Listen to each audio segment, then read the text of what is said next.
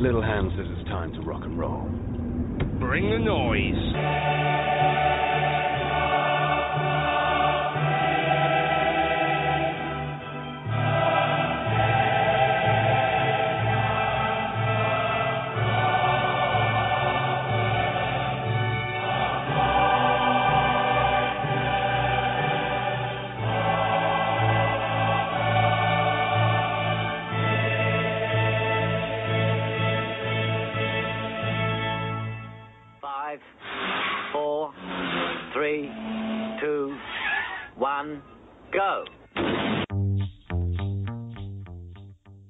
Welcome everyone to the final uh, E-Tims podcast of the season. Realistically, we may have a close season one, but this is the final E-Tims podcast of the 2000 and uh, is it 15 slash 16 season? I always get those mixed up. Ralph, as always, I'd like to come to you first with the major question of the day. Hold on. So, Ralph, we come at this point where the great Celtic man has had to go to the board and tender his resignation. How are you feeling in your heart The of hearts? has died. How are you feeling in your heart died. of hearts knowing that John Hughes has resigned at Inverness? Uh, I, wonder where he's going next. Uh, I, I'm sad because he came in with a vision. I didn't take to it at first, and then I think was it a six-one over Dundee United or something like that. Just to clarify, Uh, we're talking about Ronnie Deila here, aren't we? We're not talking about John Hughes. That, that joke's past, just so you know. I, mean, I thought we were going somewhere. We finished the season strongly, and it just never went forward from there. I think it culminated with the, the game at Hampden against uh, the Rangers, with the inverted commas, and that was it. It was over. But as you could tell, he didn't want to be here long before that. So he's away, and good luck to him wherever he goes. And as long as he doesn't come back in one of the qualifiers with another team and condemn us to Europa League again, uh, best of luck to him. Well, that's a good that's a good question, Hector. Before we before we have a post mortem of the season, uh, Ronnie's final game on Sunday. How did how did you feel it went? Was it a bittersweet moment, or was it really one of those uh, too too uh, I don't want to say too little, too late because it obviously it was seven goals and Ralph had been uh, praying for seven goals the whole season, so he eventually got his wish. But was it one of those ones where you thought, really, this is when we turn it on, the, the last game of the season?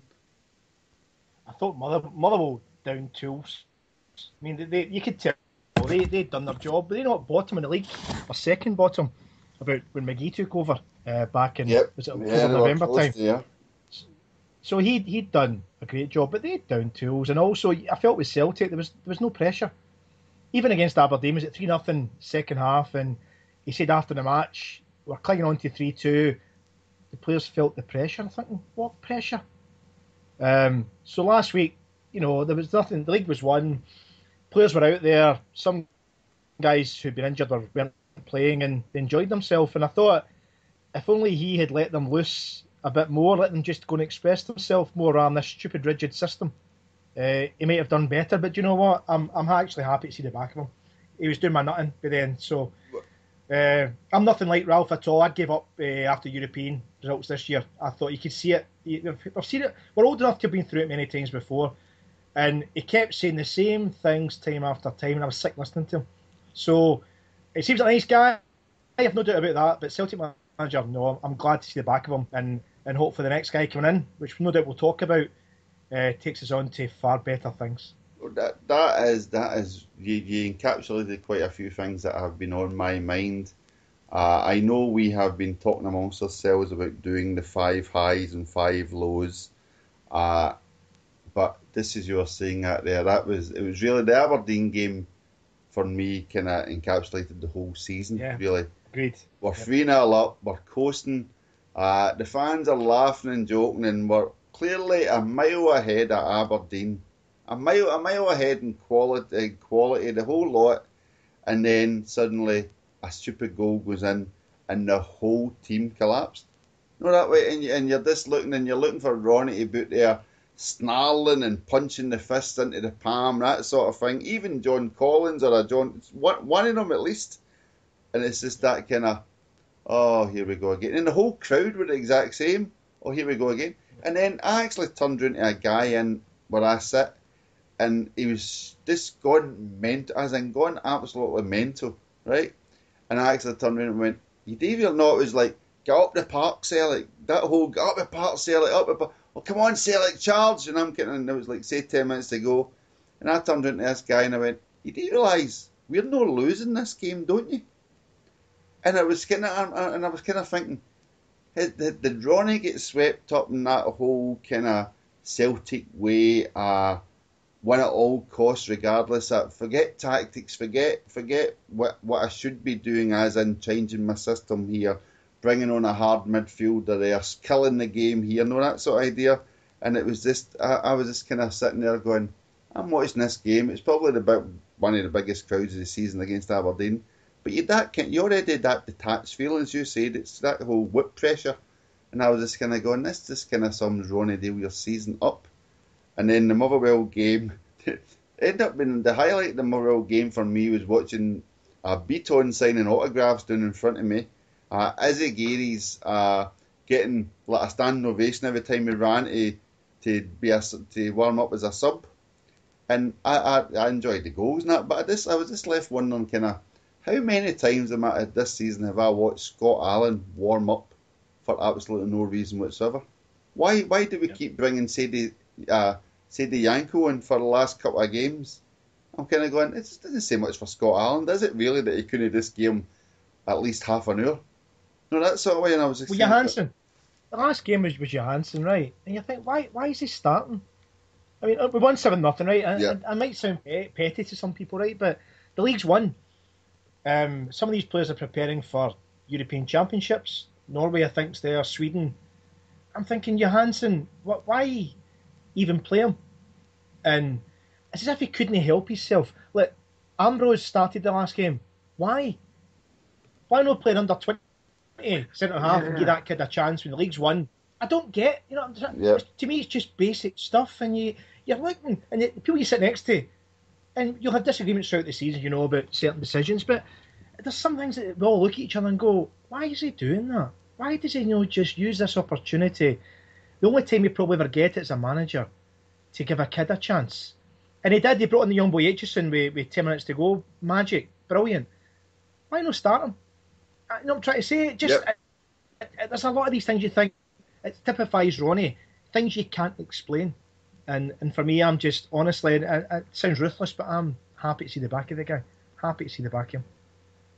Uh, it was a, a strange kind of season all told, wasn't it?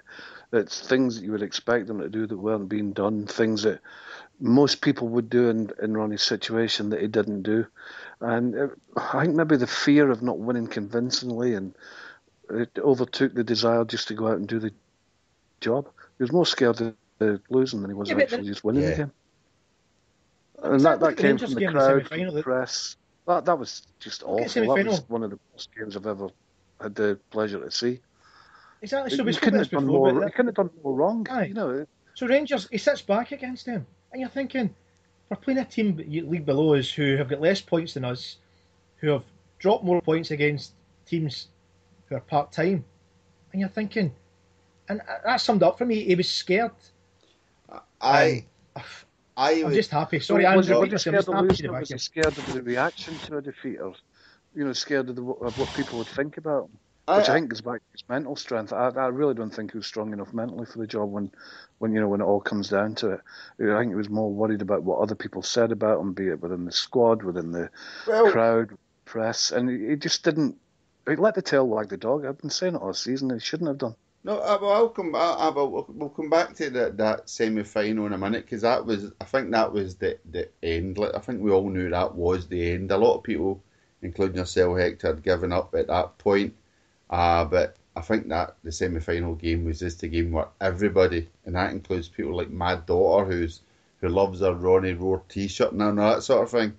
And it was like, is he gone yet? It was just that was that was the that was the end of it. That People people couldn't even see. Yeah, I don't even think Charlie says in the diary could have seen a positive after that, Ralph. But but Ralph, come, but before we before we go back to that, but I, I've, I, I meant I don't know if I sent it to you. I, I definitely meant to send it to you. Uh, Ronnie's uh, interview. I don't know if it was with the Celtic TV or whatever. And he turns around and goes, uh, "There was a straight, there was a diff, there was a culture I was unused to here, very much a hierarchy. I don't know if you saw it." And he goes, uh, "Hopefully, know. hopefully that's changed a little bit. In Norway, we are used to asking questions." So again, I, I, it was just uh, I meant to send it to you the other day because I thought uh, Ralph would enjoy uh, dissecting that in the diary, uh, and I was wondering is that is that him asking Lawwell questions? Is that him expecting the players to ask him questions? And again, I always go back to this: uh, football players are stupid, as in they are not brainy guys. They need to be told exactly what to do, exactly when, etc., etc bar a few of the really good ones, the rest of them are really just really fit, talented with a at their feet, puppets, but they need to be told what the tactics are, etc.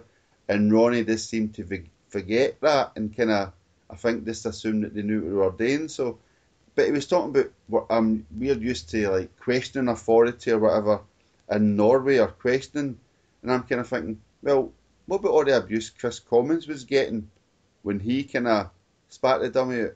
And Yeah. Ronnie's like, yeah, it's oh, problem. fighting. And then, and then, yeah, and then they get the abuse for that, oh, or that he shouldn't have, he shouldn't have done that. And I'm kind of thinking, well, maybe it's a case of Ronnie should have made sure a few more of them had more passion like that. You know what I mean? And I think everybody was just totally confused by the end of what are you expecting for us. You know what I mean?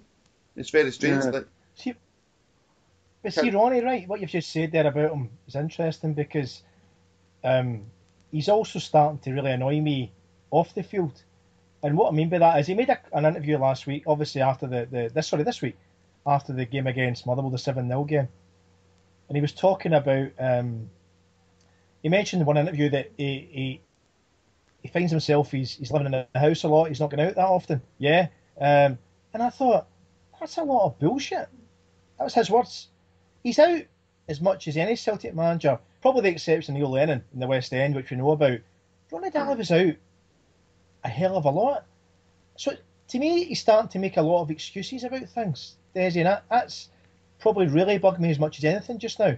Look, if you weren't as good as you thought you were going to be, and we all wanted to do well, then put your hands up and say, right, I should have done a lot, lot better than I did. But don't, don't make excuses, especially when your budget is just dwarfs everything else. There's no excuses in Scotland. yeah, I think he's realised what he's done wrong, and instead of saying I've done this wrong, like you just said, he'd be as well holding his hands up and saying, right, I've made an arse here. I'll, what I've learned here, I'll take into my next job, and I'll come out of it a better manager, whatever. But you're right, he hasn't. It's, it's, he's just he's let it all roll over the top of him. He should have he should have took control from day one. He didn't, and from then on, it was a gradual decline. I think with his authority and like you've said about uh, players need to be told what what they're doing. They also need to be told why they're doing it, and then when it works for them, they can see why they're doing it, and they can they can go with it. And there doesn't seem to have been any of that. A lack of leadership, I think. in, it was interesting. The much maligned Gordon Strachan, who the Celtic manager, he made a, a, really insightful comment. He says that he found that if he had to tell a professional player, and with Celtic, most players are international players. He said if you had to tell a professional player more than three times to do a certain thing, and they couldn't do it, he felt at that point they were no use to him. And that's the kind of ruthless streak I think you need to be a successful manager, especially at Well, Celtic. that's that's You know, management. You, you, anyway. know, you take. Ah, but no, about- it's not a wee part-time team where you're up against it. If you're at that team, Strachan was out with Celtic and Rangers going for everything, right? And if you're telling these guys you're internationals something more than three times to this is your position, we're defending, you go to that area there, and they don't do it, then sorry, you're no use to me. And that's Well, what that's these saying. guys are. Same in That's what they business. do, yeah. If you get a guy doing anything, he doesn't do it. Get, get out there. And I think maybe he, would, he wanted to be their pal as well. Sometimes you get that impression. He, you know, like he's out with them a lot, and he's he's not distanced himself enough from the the players. Uh, he's maybe took the wrong trust with some, and others have taken advantage of that. Strong personality as well. No, It doesn't matter if you're the boss or not the boss. If you've got a strong personality, unless uh, you, a strong personality working for you, uh, unless you stamp on it and make sure he knows who's in charge, then they'll run all over the top of you. And again, I think that's what's happened to him. But having said that, like you said, you're fed up with him by the end, and I was getting there as well. And it was the lack of leadership more than anything else. The football vision, yeah, he had that. He probably has got the ability to put it in with, with people that perhaps looked up to him in Norway, but over here it was different. Maybe that's part of the culture he was referring to. He just made an arse of it, let's be honest. Well, yeah, again, but I think I well, I don't want to blow my own trumpet, so to speak, with my back. But I think I summed it up when I. Oh, was- go on then. No, I was going to say I think I summed it up when when I when I said we haven't had a Cheerio Ronnie piece on the site Yeah. yet, and it was really, well, I'm not writing it. Does any can anyone else be arse writing it? You know what I mean? And it was not, not Char- but- Charlie in the diary. Get, you get Charlie in the diary to do I was it. going to ask Charlie. Actually, that was a thought of mine. I was going to ask him to do it, uh, but he might, might struggle to get eight, 800, 1,000 words out of it. Then then the other Uh, guy, who's the French other guy who was arguing with? to. Get, Yeah. I get Mo- Monty- the Oh, Monty to do the Monty answer. to write the opposite. Yeah.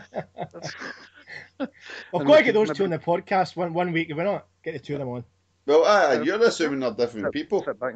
Or do a wee live thing. We get a room somewhere and uh, just let them all Careful, fight out. careful. That'll be all right. No, it's it's done now. It's over. We will move on. I think is the way of looking at it. Um, it looks like we've chosen a new guy, so we'll need to get behind him and give him a couple of weeks till we start moaning about what he. Right, okay, let, let, let's now move on to the new guy right away, right? Because I've not I've not gave you as much prompting here, but we have discussed it. Uh, Hector, off the top of your head, could you name your three highs of the season? You don't need to get into further detail, just a couple of sentences my if you can think. Oh, top of your head. Right, top of the head. We're in the league. I know we should always win it with the budget right now, um, but to get five is one of my top three.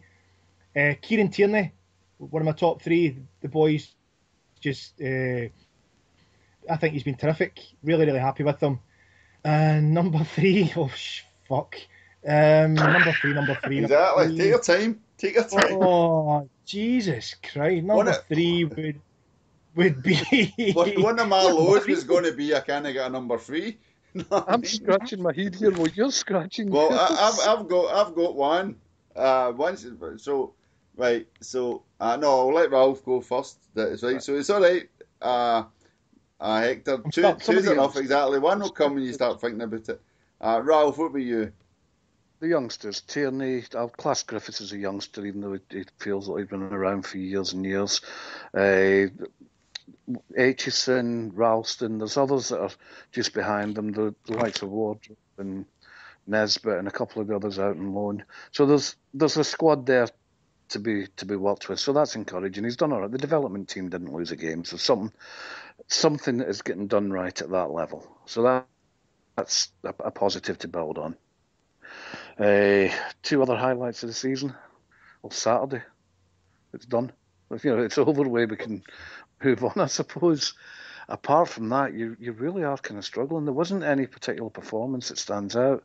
There wasn't any particular feeling after a game that you know you're going to remember it. A great memory, but you know there wasn't one. Yeah. Um, maybe a Rodgers goal against Kilmarnock, simply Nice. because it put us back on track. Uh, I would probably count that, I suppose. Um, and Griffiths getting 40 goals. Actually, we've overlooked that. Yeah, Griffiths. Uh, That's my third. That's my third one. Four- yeah. That's it. That's it, Hector. I- Griffiths, Tierney, and five in a row. That's it. That's it. Yeah. the, the prize for claiming the most obvious out of them all goes to Hector. and that's So- not to be underestimated as well, the five in a row.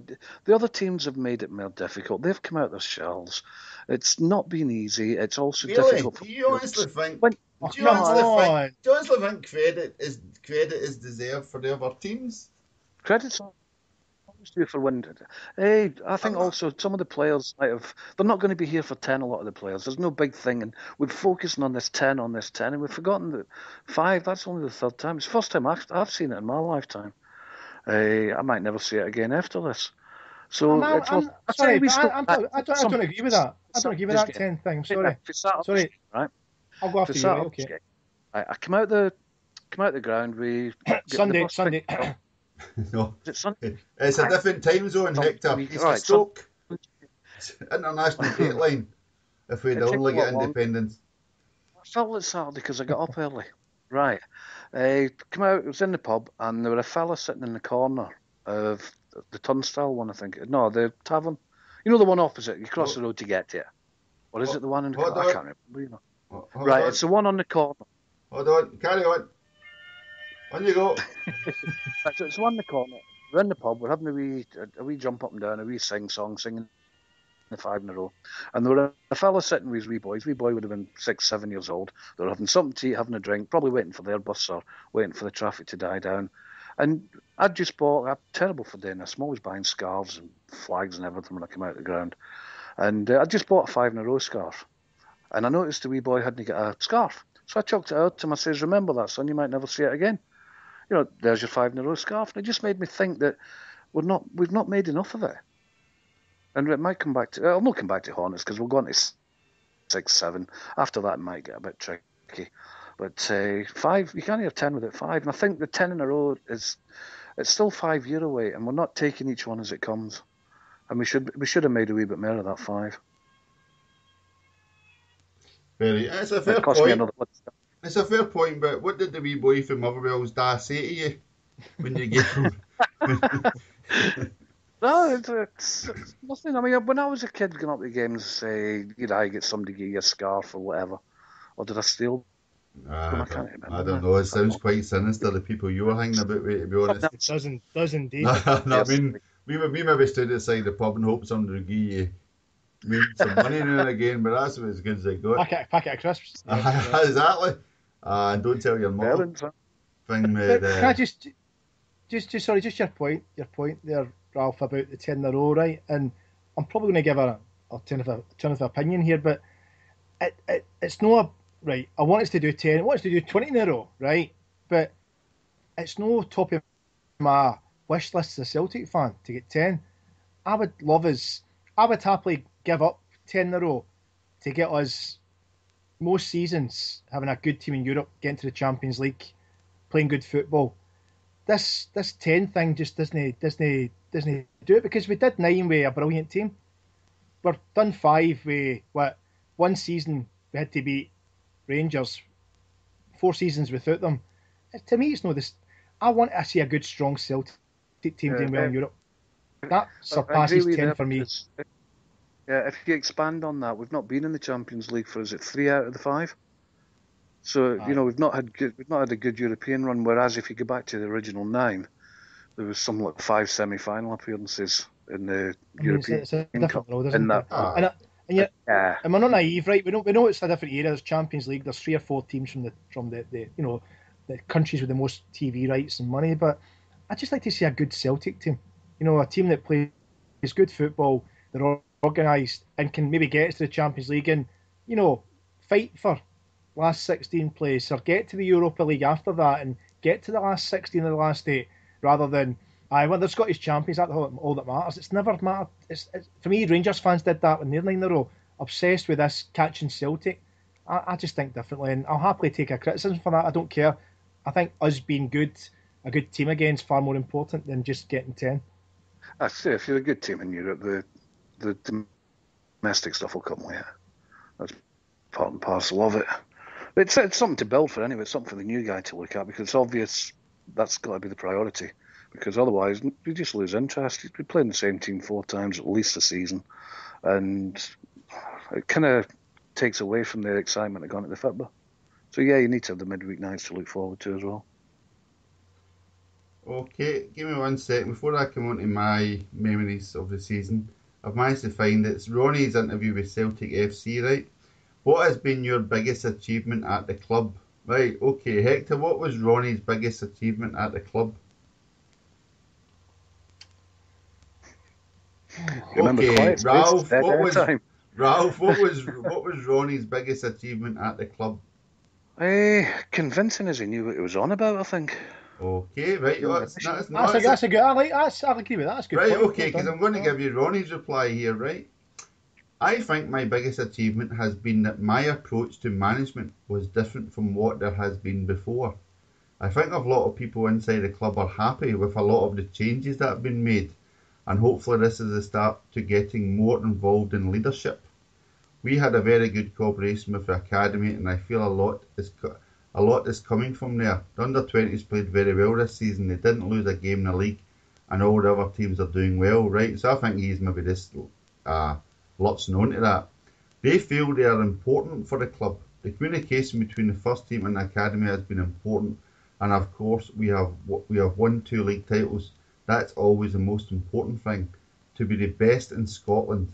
And I'll also take with me the positives from the European campaign last season.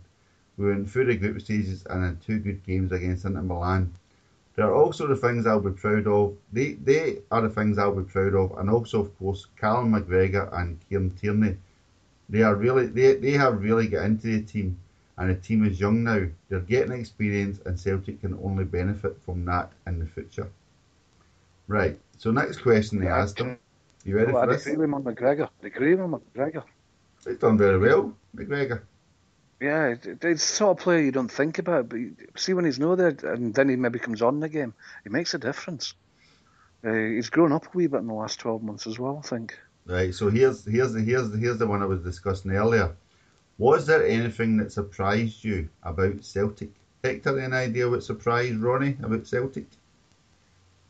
I would say coming from a small club in Norway, it would be off the field. Maybe the media, the the focus, the intensity off the field about, you know, twenty four seven being Celtic manager. Okay, yeah, fair enough. Uh, the size of the club is also huge and a lot bigger than what I thought. I don't think a lot of people in Norway understand how big Celtic is. Right, Ralph, this one is for you, right? But this is how he an- this is that was the last part of his answer. The first part was this: the culture. Hang on, would it have been, right? I've not seen this interview, Mhm. but I remember him getting asked a similar question at a forum, and he said he found it bizarre the way that the club was treated by the authorities and the media, and he was having difficulty coming to terms with that. He said he would come to terms with it. This was Ah, before, right, just that- before Van Dijk went away. I, I am willing to bet that was not in the CelticTV.net or CelticFC.net website. I would, rec- I would reckon that would yeah, have been in a good. Yeah, that'd have been edited. you know what I mean? No, that's, he said that in the room. No, I'm, I'm saying, but no, that would have been reported, say, like in a Norwegian press or whatever. I don't think that would have been part of the official club statement. You know what I mean? Right, here we go. Was there anything that surprised you about Celtic? The culture was a little bit different for me. A lot of people were afraid to say their opinions sometimes because of the hierarchy, and that's different from Norway. We still have it, but everyone has different qualities and is not afraid to challenge the leader. For me, in the beginning, there was a lot of respect for me, and that's important. But it's also important to have people around you to challenge you, and that got better the more I was there. It's a different kind of leadership, and that was the biggest difference. So that and that kind of made me go, oh, that's quite strange. So was Yeah, he expecting more of a cooperate? Was he expecting more of a cooperation from his from from his team, including his management team and his players, and his like his board, or were they expecting him to basically be the what the the guy who dragged Dame forward and basically told Dame rather than uh, rather than a kind of management by cooperation, if you know what I mean? So it's quite interesting. It explains Uh, a lot of the running about like headless chickens on the pitch if nobody's prepared to take the lead because of maybe expecting someone else to speak up in a room. You know, when you know, you've seen it yourselves, and everybody sees it when you're in a room and somebody says, "Right, any questions?" and everybody stares everywhere else and nobody does anything.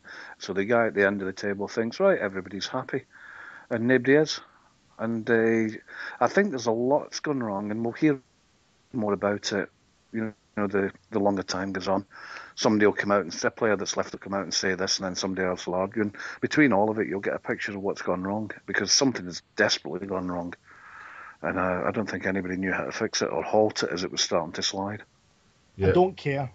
Well, exactly. no, that, that, is, that is perfectly put, Hector, because that is exactly. I'm fed up listening to him. ex- that's Shut up, Ronnie. He's that- my headpiece. That's exactly. Go away. That's actually. Thank the you for one and two, but you're doing my head and go away, Aye. Ronnie. Well, you Thank you. Think about it. We only have to see him on the telly. The players have to listen to him every day. So you know the effect it has on people watching him on the telly. Maybe it just drove them all batshit. They were- They were I've listening heard that in the war forums. before we Seeing, were. seeing Twitter on the Twitter on the forums, you hear this, don't you? Uh, you hear some guys saying, "Yeah, the experienced players let them down, right?" And obviously, that people have got opinions. They, you know, it's like anything else. They, they, they've got a perception of things, and they think, right, maybe Commons or Grew or whoever it may be has let them down. And I, I'm I'm the opposite. I'm thinking like you, you have just spoke about there, listening to his his answers to his no his own the questions he was put to him. That maybe it's actually Ronnie, and the players were confused and didn't really know what they were wanting, what he was wanting from them. And I think that's the issue. Yeah. If you're an international experienced player, worked with good managers, and suddenly this other guy comes in, and you're going, wait a minute. And guys will talk. You'll do the training session a couple of hours, then you'll go for lunch, and you go, did you get what he was asking us to do there? No, I'm not quite sure. Okay, I'll put my hand up the next time and ask. We don't see the day to day things. And if things aren't working, players aren't stupid. Guys like that are international. Aren't. They'll go, but this worked well with the previous manager or the manager two times before. Why don't you do that instead? And if they don't listen to you, I think you give up in any form of business of what you do. And I think football players are no different to, to us. Yeah, I think it's just a good thing. It's finished when uh, Yes. it's done. We can move on to it. Well, well, you said it right. So we'll go this quickly to cover my highlight. No more Ronnie! Okay, we've moved on for it. Don't worry, we've moved on, but we'll come back to his play. We'll come back to his players. in. Oh! Uh, my my highlight, my Celtic part highlight. Well, there's two really. There's a highlight and a highlight slash low light. Um, a highlight would have been the the moment when Izaguirre missed the penalty for the hat trick attempt. Remember. I think it was Dundee we were playing and they scored two, and they missed that penalty. And it's, I think it's Dixie Deans that still no came down, and everybody was just laughing. I mean, that it was that that way everyone was just laughing, having a great wee day, and you're laughing at somebody missing for Celtic. Not when I'm kind of thinking that again. This kind of sums up the season. It's like ah fuck it, who cares? Let's be. I mean, blah blah blah. Everything's just dismissed with a kind of casual shrug. You know that way. Uh, And then the low light would be as well as that that semi final, which was just unbelievable. The fact that I, I, I, I personally think either I don't think Ronnie was too scared because we'd already beaten Rangers in their reincarnation. He'd already he'd already swept him off the park the first year at Hampden. So I don't think it was that. I think he was actually trying to be a wee bit too clever. I think he was trying to play rope a dope against a team Hector correctly says we shall went out there and steamroll right to the top of them. We shall went out there and like as they always say, set that marker down and went, This is who we are, this is what you're getting. I was going to say the biggest disappointment uh, other than that was the actual game at Pittodrie when again we never seemed to turn up. That was ridiculous. But probably the thinking on it now, the biggest disappointment I can remember watch physically watching the game was watching Scott Brown against Ross County in the other cup game. The fact that that's how bad we'd got, we were as if it was this. Uh, right, what can I do here? Right, fling on the captain, even though he's got a gammy leg and he can hardly he's hobbling all over the pitch. Aye, that would do. That's that's that's how bad we were. That's right, yeah. Yeah. Remember, remember that's I was just thinking, going. God see, we've, all we've done is buy midfielders, and all we can do is rely on Scott. Brown. No harm to Scott Brown. This is not to do with Scott Brown. This is what to do with Celtic this season, and that just kind of summed up. And Hector's you said or not, even when we get to the end of the season, we're still playing guys who should either have a rest or we should be giving the other guys a chance. We quite gladly deserve some time. Although Ralph, will, or in fact, and then my other highlights last low light, Hector, I was sitting at the game the other day and I suddenly get the scare, most scariest phone call I've had, I've had in a long, long time. And it was this drunken guy impersonating uh, Breaking Bad's Walter, Walter White, uh, shouting, I'm, in the, I, I'm, I'm this to the left, where are you? And I turned around, there's this guy with a yellow hat and yellow Hawaiian shirt hanging near the That's my hanging, hanging, hanging, hanging near the barrier where the main stand meets the south stand or whatever, and he's shouting, "Where?" I could actually hear you shouting it, let alone on the phone. And the guy next to me went, "Is he with you?" And I'm standing up waving at Ralph, and the guy next to me's like, "Is he with you?" I went, "Never seen him before in my life, officer." A lot of people do that when I say hello. I could believe it. I could believe it. No, but you're saying there about memories uh, the season. It's it happened a lot. Was that feeling with maybe 20 minutes left in a game that either we've made an arse it uh, or we're just not going to do anything here? And it's a kind of horrible sort of sinking feeling. You know, like a big heavy cloak getting put on your shoulders. And you think, "Well, this isn't going to happen. And you know it's not going to happen long before the end of the game. And it, it was it happened quite a lot last year. And I I'd be quite happy to never hear that, feel that again.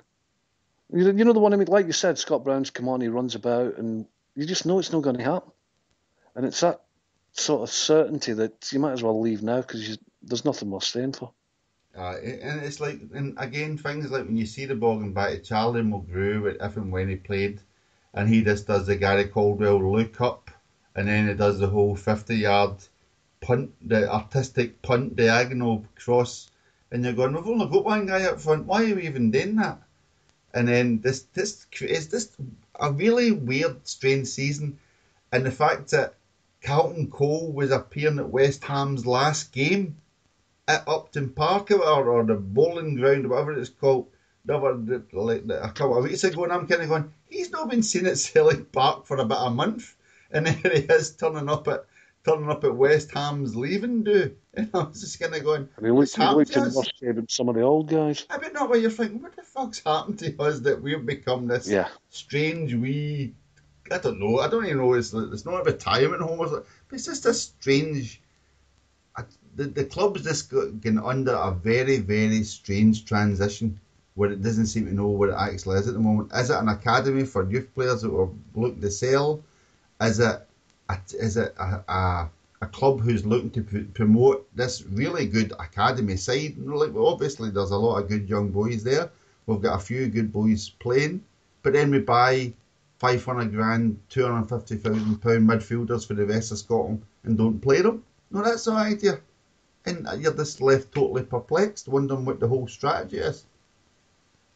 Weird. Yeah, that sums it up for the two years, I think. Well, maybe the first year towards the end, you could see what he was trying to do. But after that, it was just perplexion. Yeah, is that a word? Perplexity. You just sit there and you think, what's going on? And you, you turn to somebody and you say, well, can you see what's going on? Can you tell me? Nobody can. So, let's, I'm just glad it's over and done with. So we'll Ralph, something simple next year. Play Flippin games. So Ralph, will you miss Efe Ambrose? Because I have he's no gone anywhere. I have no idea how he even get back on the game for the last game of the season after that Aberdeen performance. Even the wee woman in front of me was, in I swear to God, the pot, the most, the poshest, the poshest Celtic fan I've ever met, and that includes you, Hector. I swear to God, you should have heard this woman. Get him off! Get him off now! He'd only been on for about five minutes. She was ready to play with 10 men rather than have Efe Ambrose on the park against Aberdeen because every, everything he'd done, and every, everything he'd done was wrong. And then in Sunday's game, he's became that figure of fun now. Even when he managed just to turn with the ball and pass it to somebody, he was literally getting that mock round of applause for everybody, and I'm kind of like. And then and then and then the somersault off the. Oh, exactly. That's it. Thanks, Efe. You're the new Enrico Annoni. I mean, yeah, you're great now. Not now. Just piss off. exactly. I think there'll be a few going away, and I'll miss him. It was fun. Uh, and I thought he's a much no! better player. His confidence. His confidence Hold on, Ronnie was interesting oh, and Efe oh, was fun. Jesus Christ, man. well, it made the other players concentrate when he was playing. You've got right. to look in the positive. Right, we've done this. We've done this already, but let's quickly do before we go into the new, the new manager. Right, you're a new manager coming in, and we'll come to individuals in a minute, i.e., manager wise, but player wise, right? So Craig Craig Gordon, right? So he's he's a given. Hopefully, staying, so to speak, right? Yep. Uh, I noticed Neil Alexander's left Hearts, so I don't unless they can nope. tempt uh, unless they can tempt Craig Gordon back there, right? No, but so then your defence, right? Kieran Tierney is your biggest, your most prized asset, right? And this, this I, I'm going to ask you this, Ralph, right? Kieran Tierney is your biggest, most biggest prized asset. Left-sided defenders are the, the rarest things in football. Why are we letting Izaguirre go? Uh, why why are we not even giving him a few games to help no give Kieran Tierney a rest?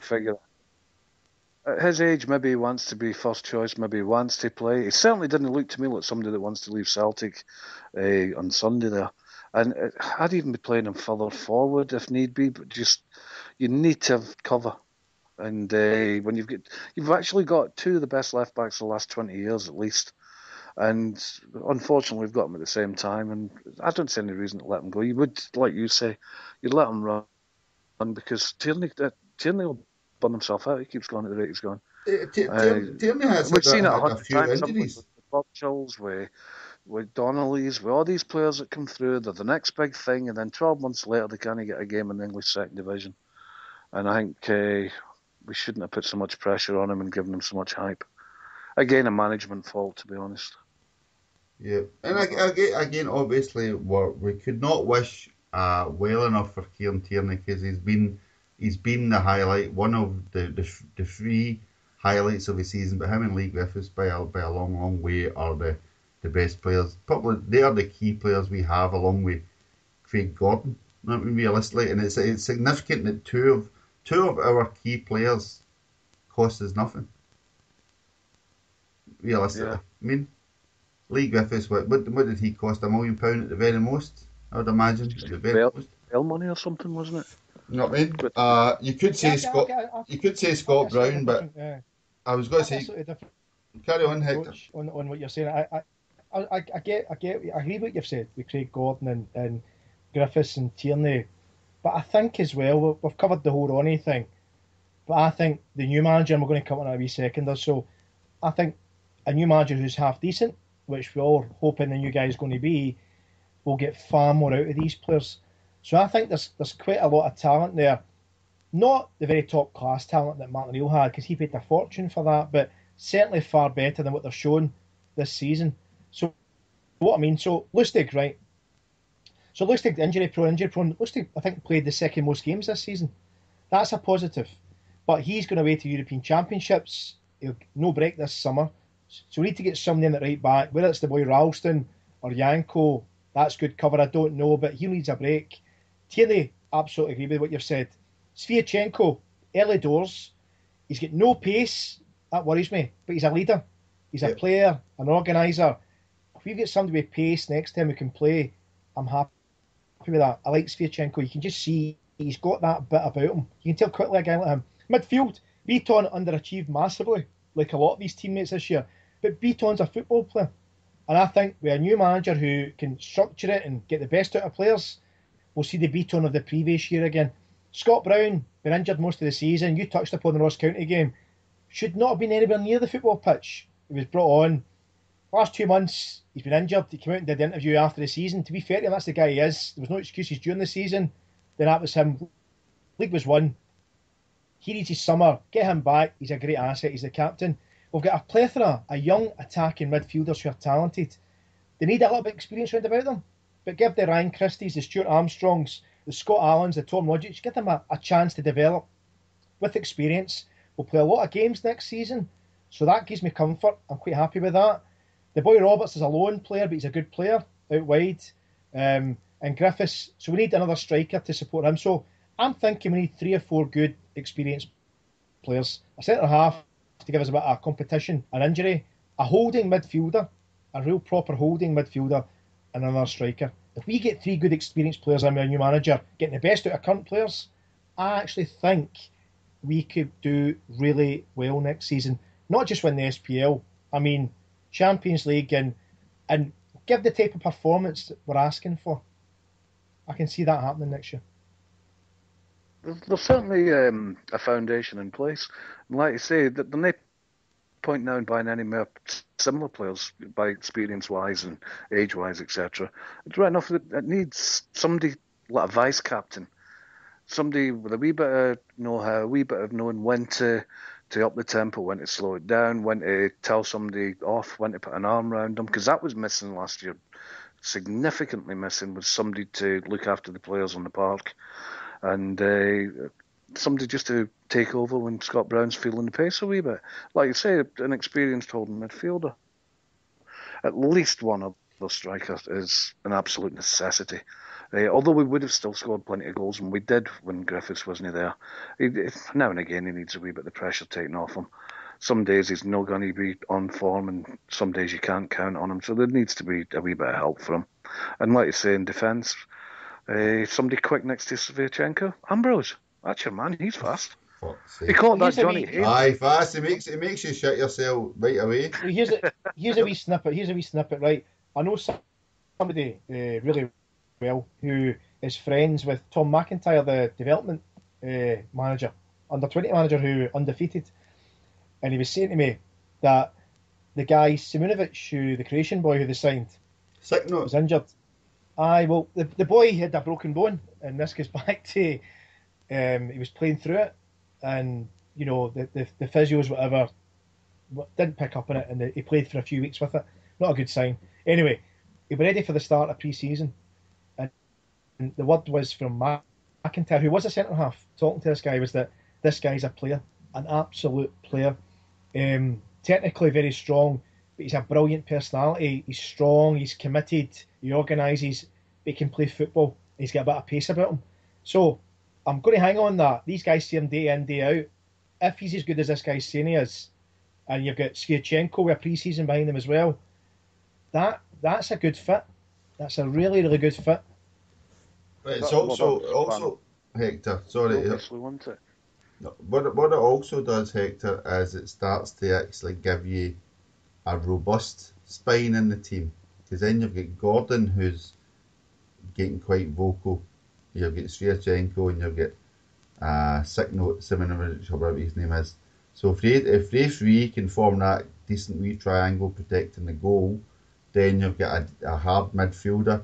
I don't think Brown is the inspirational. I think he's more leading by example on the pitch, but tends to get carried away more than anything. I don't think he's really your your mentor on the pitch. If you get if you get my meaning, he's not the sort of guy that's of always looking out for a young one and like the, the kind of Henrik. La- I mean, watching Henrik Larsson, somebody would try and play the ball through him, and if they made an arse it, he would turn around and clap as if, "Don't worry, I'll get it. I will get it right the next time." That wee whole kind of uh, Yeah. encouragement rather than rather than what the fuck was that? No, that sort of idea. The ball goes high and wide instead of uh, he'd, he'd applaud the effort rather than criticise the fault. And I think we need we need a wee bit more of that, especially further up the pitch. I think, uh, to be honest, I think uh, Johansen could also be that player. I think I, I, I, think he's a great football player, and I think he just had a bad season. He just a, he just a new baby. Also, he was playing with injury for a long time, and again that brings us back to why are so many Celtic players injured and been forced to play with injuries when we seem to have such a big squad. No, that's the idea. So we might never know now that your friend Ronnie's away and we'll all move on and look forward. Up front, you've still got big Colin Kazim Richards waiting to step in. They take his chance. In midfield and defence, you've got Charlie Mulgrew's now moved. I assume he's moving on. His contract must be up any day now. I think I think Gordon Strachan's giving him a chance, isn't he? He's Yeah. giving him a chance to put him in the shop window. Uh, Yeah. Anthony Stokes, is he going to come back for Celtic, you think? No, I th- no, I don't think so. Exactly. So, so it's, I mean, see back to Hibs and then uh, a career at Plymouth Argyle or something awaits. No, that sort of idea. Uh, I don't know. Well, Pa- Patrick Roberts is a great, a, a really good example of the whole Celtic conundrum this season. You can tell the guy's a really good player, but what were we doing taking a guy from Man City on loan when all we did was buy young midfielders by on, on by ourselves? No, that's sort of idea. Doesn't make any sense It, it whatsoever. was very strange. especially especially one that said, for all his skill and everything else, he's a very predictable player. And as as his time goes on with Celtic, by about October, he'll be ineffective even against uh, Premier League defenders. Might offer something different in Europe, but I think they can read him. I watched uh, it was the Aberdeen game. Every time he cut inside, they just bundled him off the ball. Ah, but but then it was three 0 To be to be fair, like again, because people behind me were were getting that. Oh, come on, son! To say, well, go outside, son, and you're thinking to yourself, that young boy plays on that microsecond of when he makes a defender go in.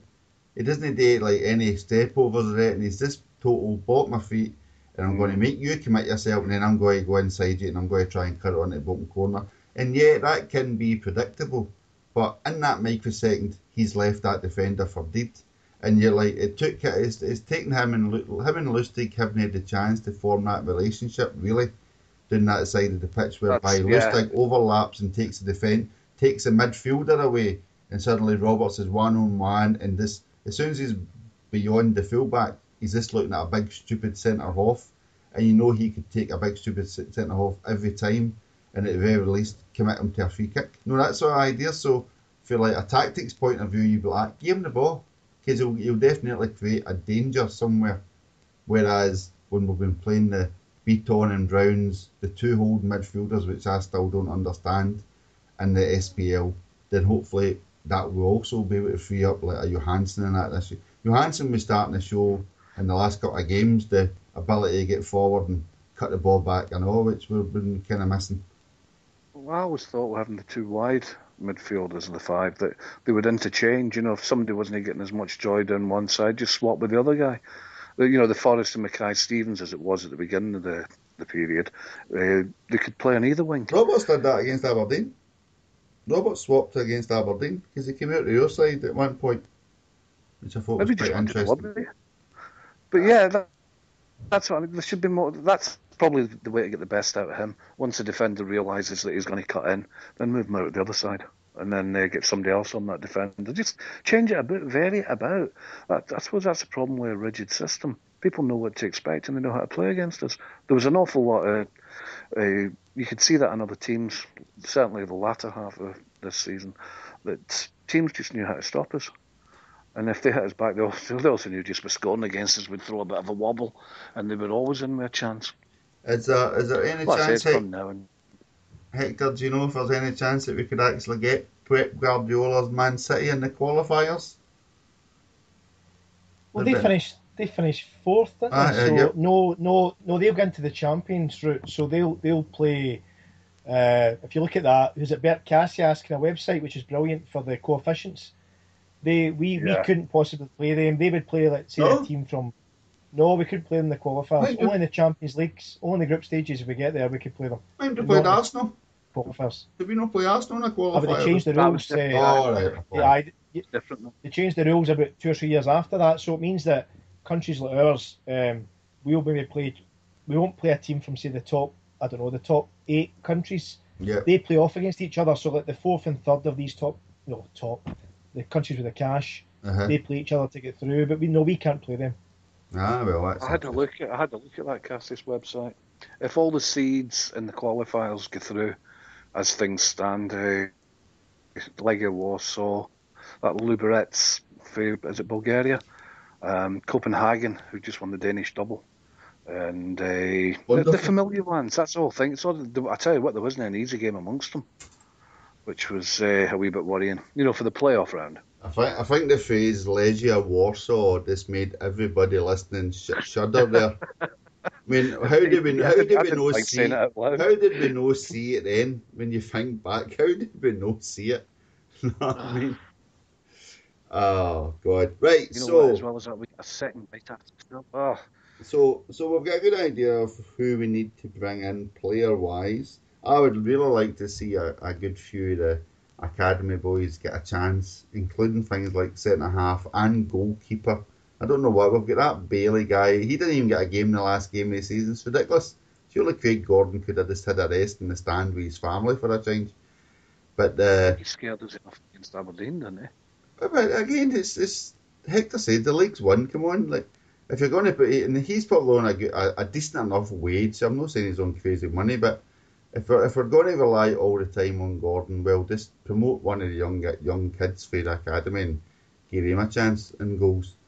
But anyway, that brings us back. That brings us really to the key, the key discussion point of the week, uh, Celtic supporter wise. Uh, Hector, do you believe Brendan, oh Brendan Rodgers, will be the next Celtic manager? Well, I'm going to give you an interesting snippet here. Oh, snippet! Snippet alert, everyone! As we as we speak, as we speak, Brendan Rodgers is not in the UK and he's not in Ireland.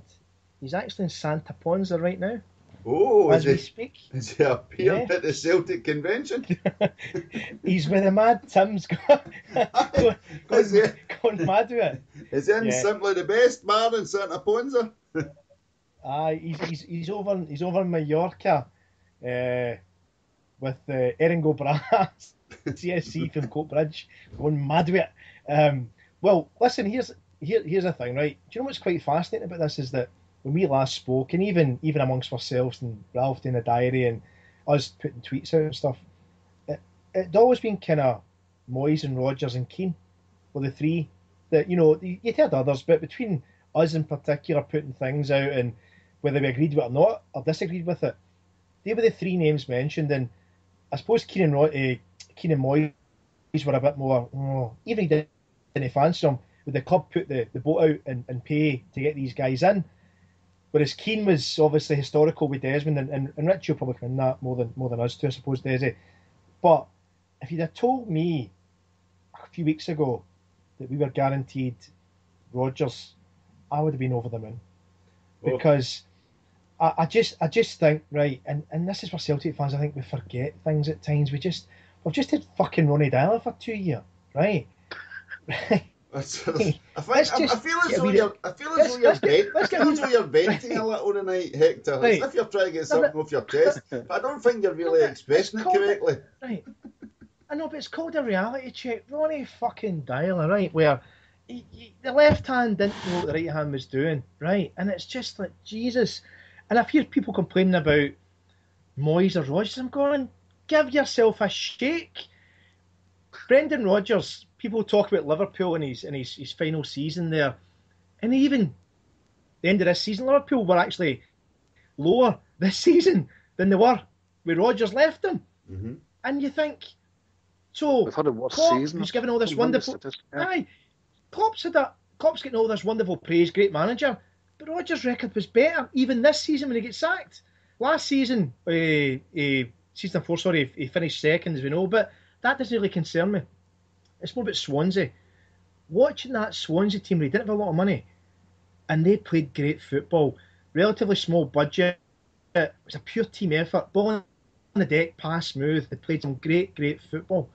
And I just see that. And if he can bring that to Celtic, I think we're going to be really, really strong position moving forward. So I'll be delighted. But please, people, reality checks required here. Just, just a reality check about who they think we should get in.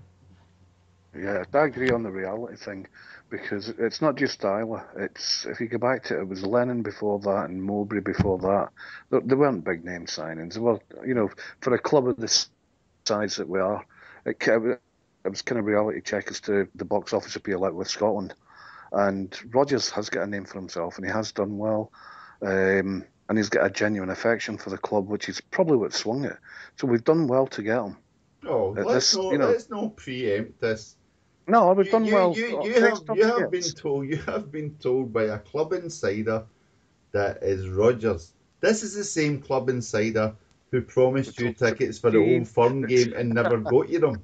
So let's let's not go No, let's not go shoot myself in the face Yeah, here. I, when, I, when I get one check it three or four times. It was in the Daily Mail at lunchtime. It must anyway. be true. Oh, there you. I think that's just to help house prices wherever he moves. No, it's in the Daily Mail. It's uh, there's a few other places saying the same thing. Uh, a few reporters putting wee snippets out as well on Twitter and other places. Um, the fact that Desmond's disappeared now, and like you just said, there, what's his name? If he's away out of the country, it's done. There's a few wee things tying out, and that's it. I don't. I genuinely don't think Desmond wanted to mess about. He certainly didn't want to leave Lowell anywhere near the negotiations in case he made another yet. Yep. So he's come in, he's sorted out, it's been done, and that's it. I think Keane would have been the favourite, or certainly one of the favourites, same as Moyes, and it may be that the two of them sort of, well, can we wait and see? Well, Moyes said earlier on, didn't he, that he, he was going to wait till the summer. And if Desmond's wanted to sort it out now, then that put him out of the running. Uh, Keane maybe he was sort of given the yeah, I'll do it, or maybe I will, maybe I won't. Uh, all it would have taken is a right, are you taking this job or not? And then all of a sudden, uh, Rodgers turns up at the, the ground. There's a couple of uh, interviews, one, one in Dublin as well, wasn't there? Am I getting mixed up? Did he turn up at the ground or was it just Dublin? Who? But wherever, uh, Rodgers. All of a sudden, he's having discussions with Desmond. Everybody's happy afterwards. He come back for a second interview, which means they're both interested. Uh, and now they're away, and Desmond's away again. And it's done, it's dusted.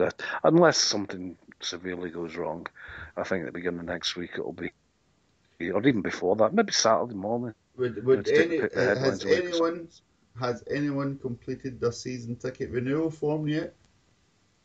Or are you looking forward to hearing who the new manager is first? I think for all the and don't let anybody hear this, but for all the positive, you know we'll all still be going next year, even if even if Neil Lennon gets a job back or Mark Warburton gets a job, we will. It's what we do. It's what we've always done. can but dream. Right, okay, I'm going to give you some choice. I'm going to give you some choice. Wait a minute, Hector. I'm going to give you some choice uh, Brendan Rodgers quotes, right? Uh, and I'm not being derogatory because I'd be, I, I would be quite happy to see Brendan Rodgers. I think he's a he's a quality coach. Too. There's obviously there is some uh, room for humour there. Let's be honest. I think we'll be able to take the piss quite quite well. But I think it will also be interesting to see how he deals with the Scottish media and how they react to him if it does become him. Uh, and it'll also be interesting to see how the board react to his expectations, given the amount of money, uh, given given the amount of money he he has seen players bought for, right? And I'm not saying the amount of money he spent on players, because apparently the whole Liverpool thing was purchased by committee.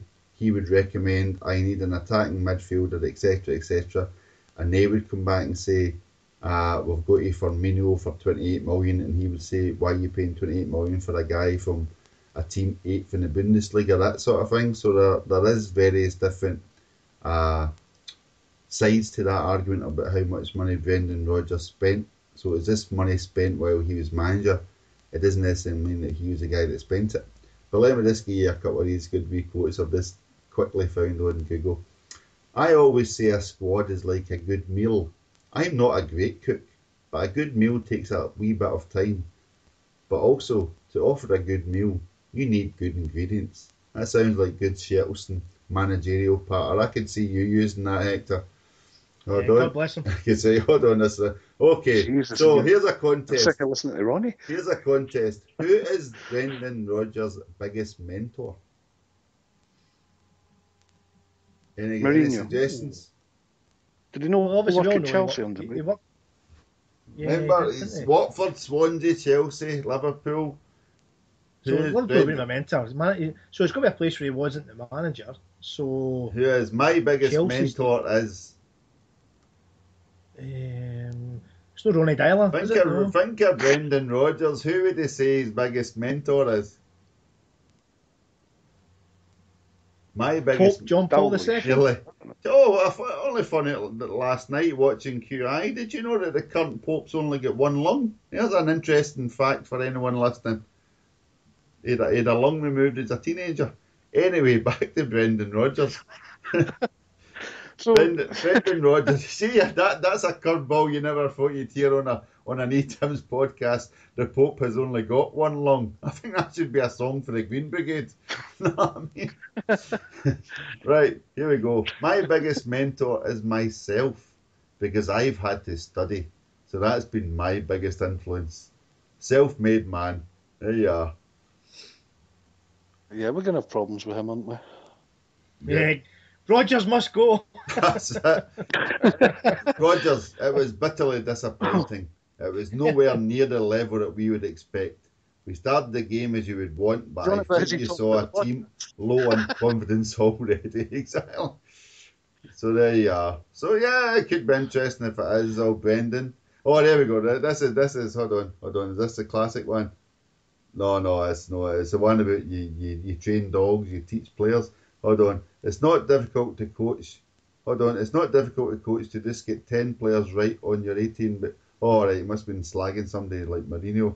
It's not difficult to coach to just get 10 players right on your 18 yard box.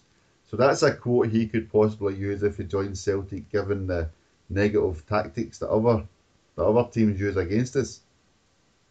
There was one one thing I was going to bring up, right? And this this is the I don't know who one of you to mentioned it was the fact that Dermot Desmond was across all this, which is clear he is. Even that brief interview he did yesterday with the Irish Open Golf and he basically said there'd been at least six people interviewed, and he was pretty key to this.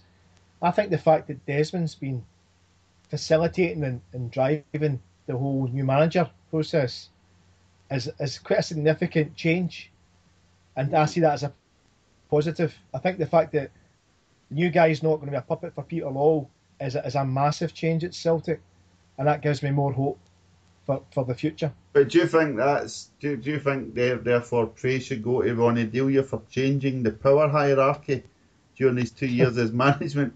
Are you starting to see the I'm light? Are you starting to see the sick- light here, uh, Hector? I'm fucking fed up with Ronnie Deila. Just change your record. I think that you're right enough. Uh, not so much that Deila has done it or whatever. I think there'll be a few more changes than just the manager and a few players. I think there might be a, a change in the way things are done. Certainly be a change in the budget. There's no way that uh, Rodgers would come in uh, on whatever wage just to work with the players that are here. He'll want his own players around him. He'll want his own staff around him. Um, it might be a similar thing to when O'Neill first came in. Uh, that- that's something to look for. At least it will keep us interested until the, the season sort of kicks off anyway. At least it will give us something to think about, and maybe we'll dominate the, the back pages again, because that's something else that we've uh, sadly let go. Everything's about positive stories about another club, negative about us, and there's there's nothing good for us. Well, well, that's We need that. to we need to we need to get ourselves back to where we were. Right, the last couple of years have been a disaster in that sense. That is interesting that you still actually read back pages. Do you actually still read a paper, Hector? No, No one, not at all. Not at all. I don't even look at the I metro. I wasn't get, kidding. I get a train every morning and I don't even look at the metro. It's just um, it's I was just, in the garage this morning, and uh, the the last behind the counter was giving away copies of the, the Sun, and she said, "Do you want a free copy?" I says, "No, it's not absorbent enough, and it's it's mud on my skin." and she said, "You know, I can't give them away." And I said, "I'm not surprised, but there's a big pile of them." And like, the newspapers are finished. It's, it's their own fault. It's, they're just advertising books now. But uh, it's the back pages that get people talking on your Twitter and everything else. It gives them something to talk about. Uh, they put it out there online anyway, so there's no need to buy one. Uh, but it's keeping, what's the word for it? Keeping an interest.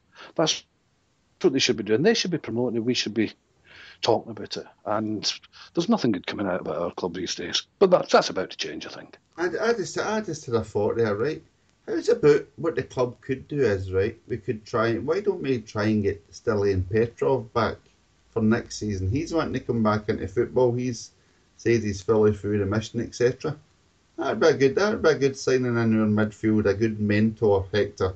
We're looking for. You Know what I mean? That would. Did you not just sign for? Did you not- did not just sign? I know, I know you're. Oh, well, again, I Did you not think it's, no, that- no, that's what I was going to say. It's because I don't read papers. I don't see these things. If it's if it's no football three six five portrait of an icon, and I don't really see it. To be honest, I don't really pay that much attention. And that was No, it sort was on of. Twitter. It was on No. Twitter last week. I'm sure he's signed for Villa. Has he not? In some sort Oh, of I not. capacity. All right, I never I never seen it. I did see the fact that he said to his son he was going to try. He was going to do his best to get back to help Villa back up, and his son. No, he says to get back to playing for Villa, and his son said, "If you saw how bad Villa are, could you not play for somebody else?" Something like that. But no, that, that reminds me. That that actually reminds me of how bring it all full circle, bring it back to one of my highlights of the season was seeing the diary, the success of the diary. Congratulations, Ralph! It was all your sterling Yep, hard work. yep.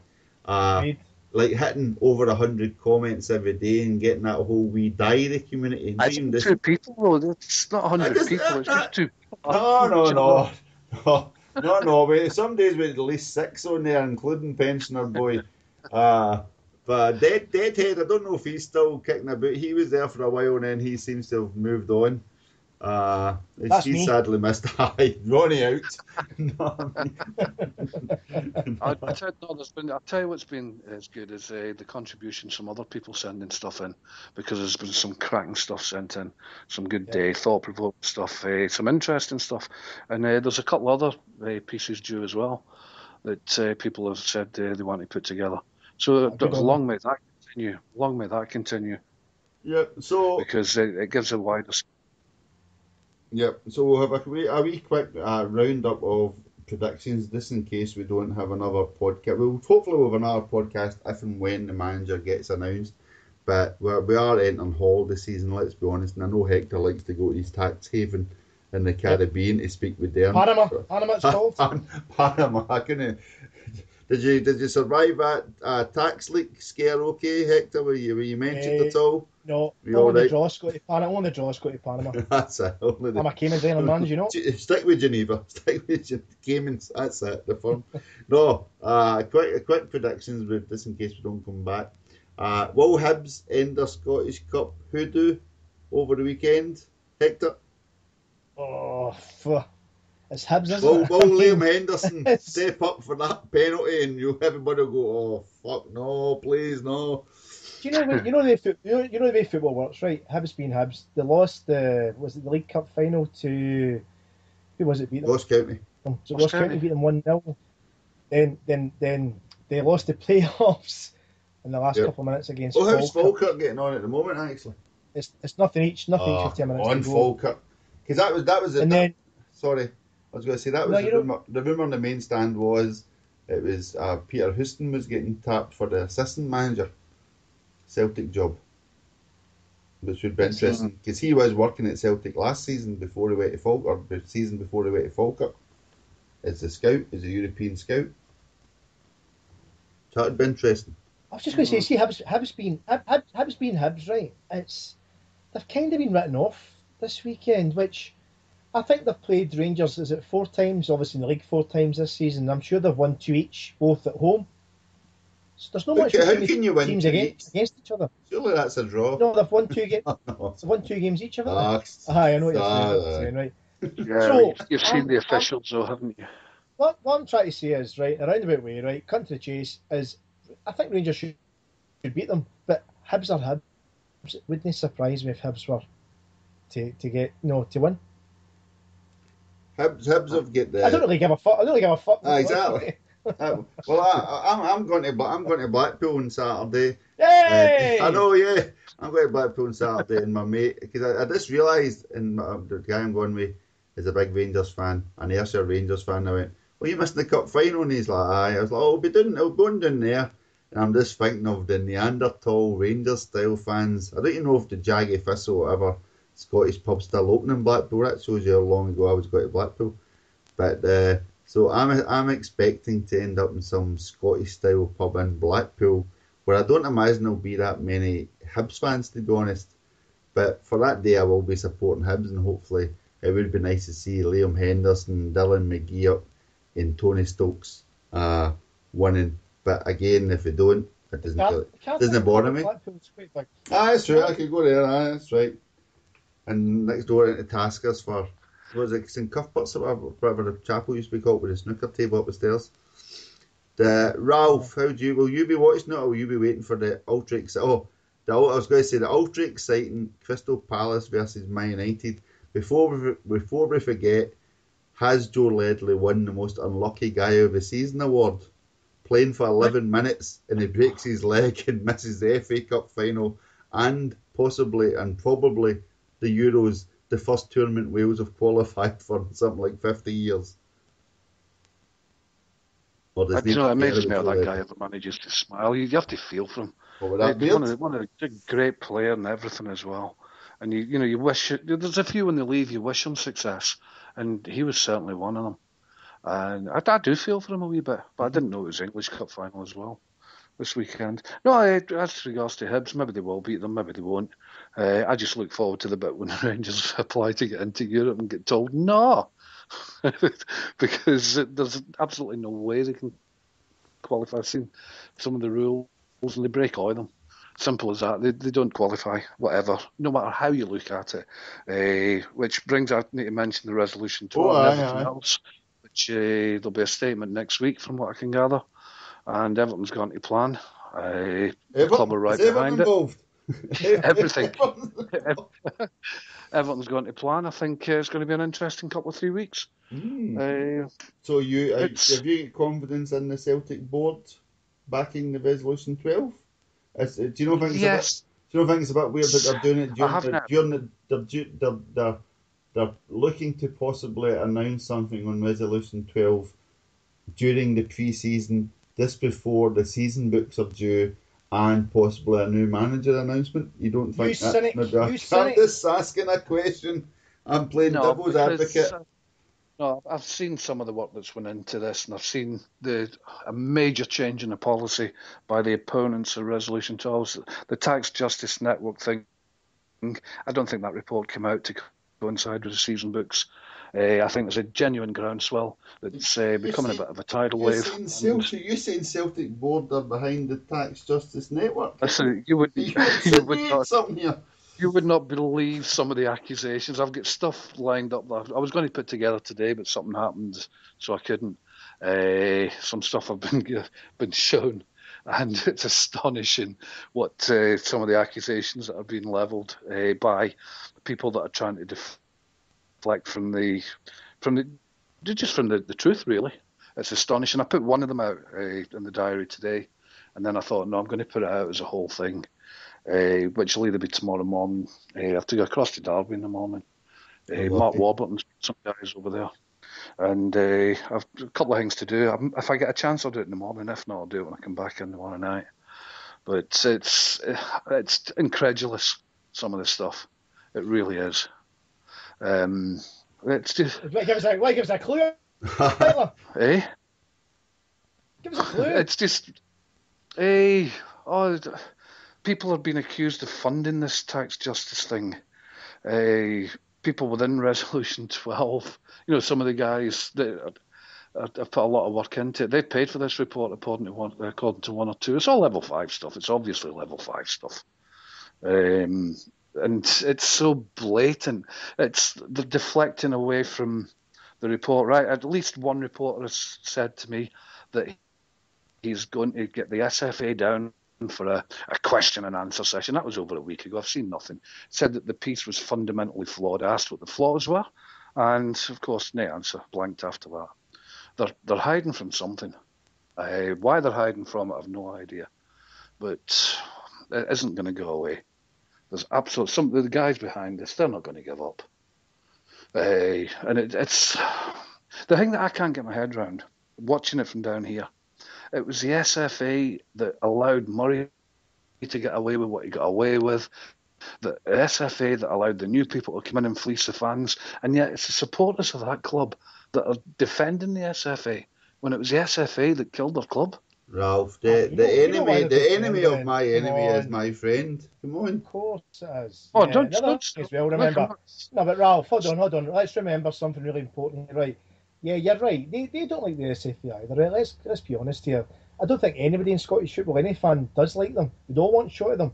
But remember the big thing here is with them, right? The last thing they want is to get potentially in the future get trophies removed, right? And it all kind of to some degree ties into that, right? To some degree it does. So you totally get why they're, you know, challenging people putting these things out because it's role reversal. We'd be doing the bloody same thing. Mm-hmm.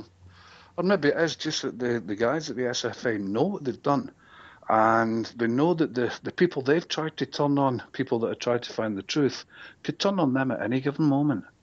And they're d- digging themselves a deeper and deeper pit. And it'll all come out eventually. There's obviously there's bits that we don't know about, there's bits that we can only guess at.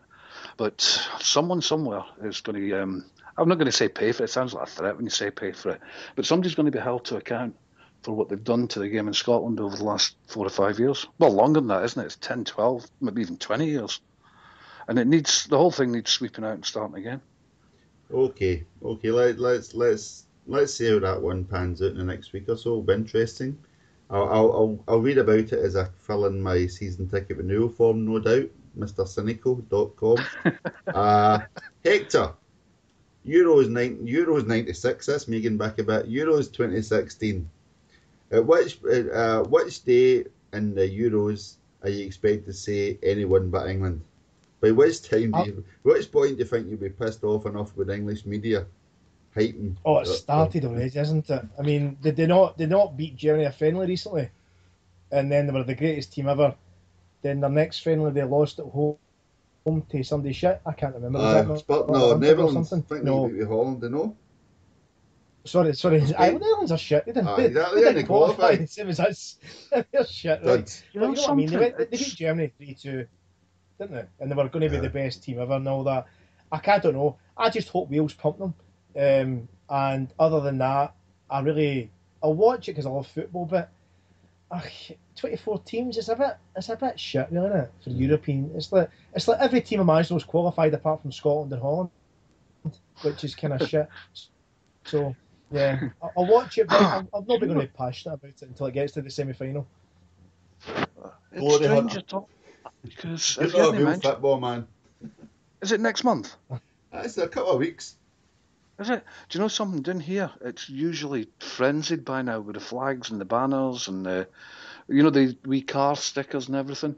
I haven't seen a one. Yeah, the the Sun Honestly, the, the Sun will launch their campaign soon enough. Don't worry about They it. can't even give that paper away, can they? Don't, don't forget.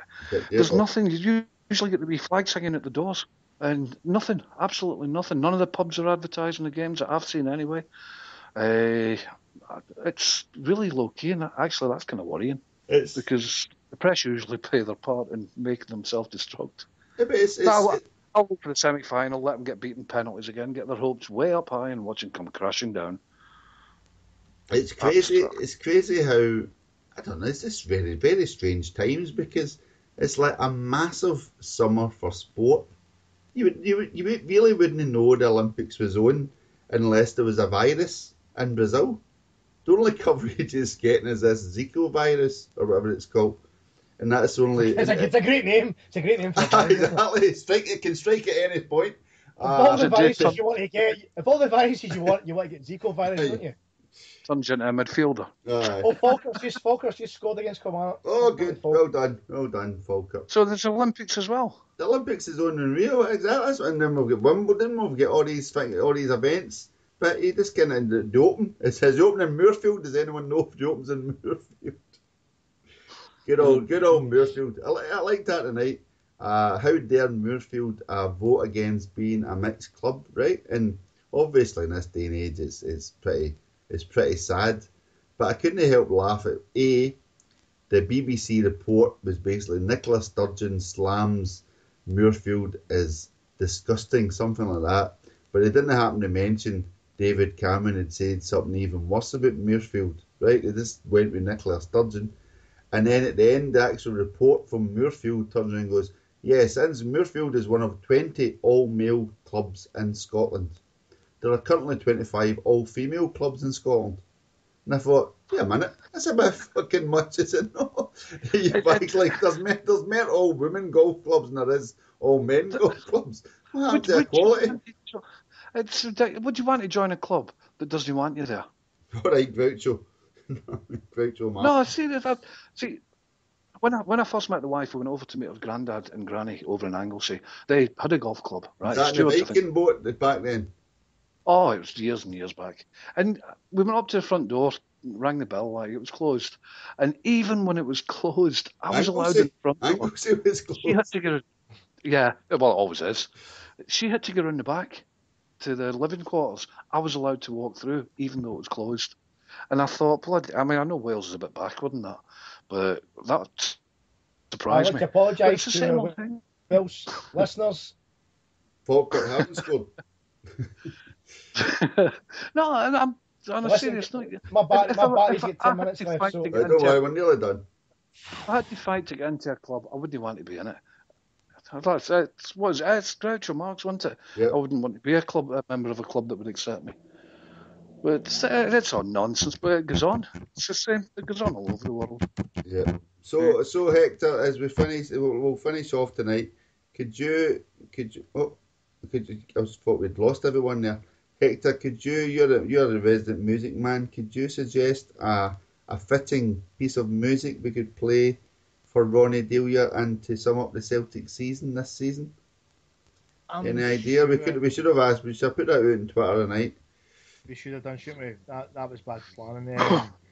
I'm sure there's an appropriate Sex Pistols song somewhere that that that that, that springs to mind that would probably coincide with the Queen's birthday or something along those lines. I think would be quite fitting for, for Ronnie, in my opinion. The Queen's birthday? Hmm.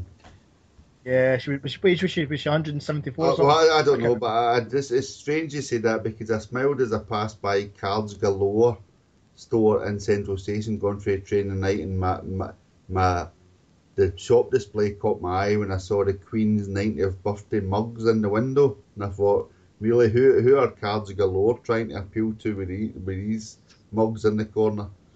You know what I mean? Suffice to say I did not buy any, but I might need a new window by the end of the weekend. Uh, Ralph, you an idea? You don't. You, given, given you, given you seem to have your holiday outfit on on Sunday, any ideas of a holiday style bit, bit of music we could play to sum up this season?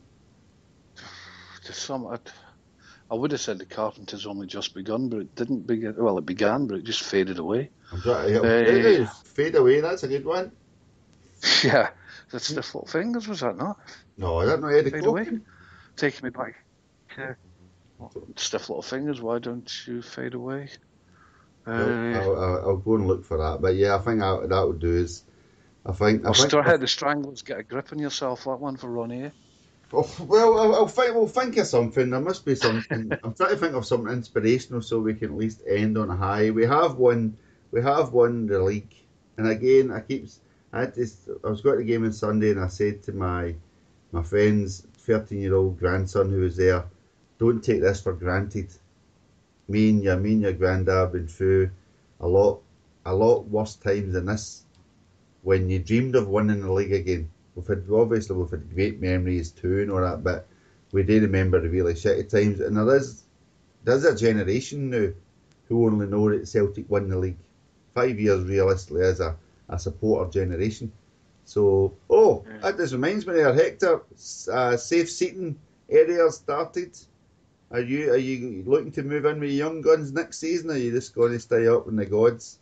No, no, no. I, I, I- I've now, I've now accepted my age now, Daisy, and I give you I, I, eventually. I've now, I've, I've, I've now, yeah, I'm now 27, and I, I've now, you still wearing the I've super now- fry? I've now, I've now realised that uh, it's only a matter of time. I give it maybe five, six years. Well, I'll move to the main stand. Come on, come on, then, mate. It's I know- lovely. I know- You'll love it. Aye, and I'll, and I'll have, and I'll have a tartan shawl, It's lovely, mate. flask, a flask, and a bunnet, and and I'm probably five years from that. So I, I know I'd love to, I'd love to, and as you know, right? But no, it's a young man's game, young person's game. So not not for me anymore. I'll tell you, the Chateaubriand on on Sunday was absolutely lovely for half time. Uh-huh, I'd, recom- I'd recommend it. And how they put it in a pie, I've no idea, honestly.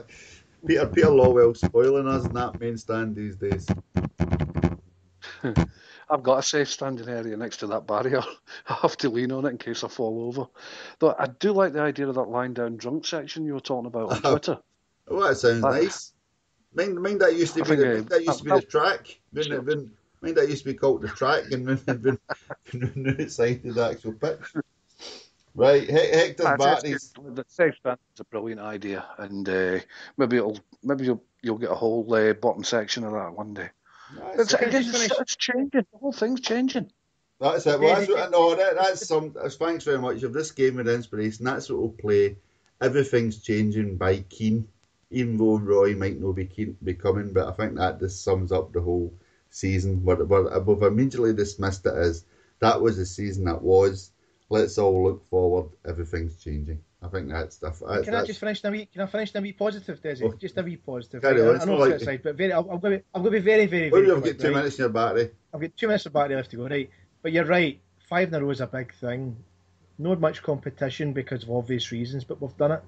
So we're still the champions. Don't be a great season, but still the champions. But I think we've got a lot to look forward to next season.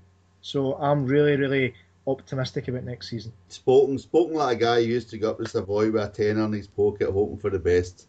It's good to see you've still got that optimism, Hector. Never lose it. You never lose it. Always there. Take a boy out of Shettleston.